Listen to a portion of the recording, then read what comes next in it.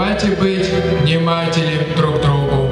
Давайте быть терпимым и добрее. На торжественном концерте социальных работников чествовали представители администрации Котласа, городские депутаты и многочисленные друзья реабилитационных центров и учреждений социальной защиты и обеспечения.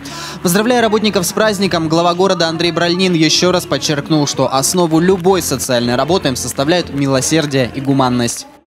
Примите самые теплые, самые искренние поздравления с вашим профессиональным праздником, Днем социального работника. Вот все было правильно сказано. Вы те, кто протягиваете руку, кто в этом больше всех нуждается.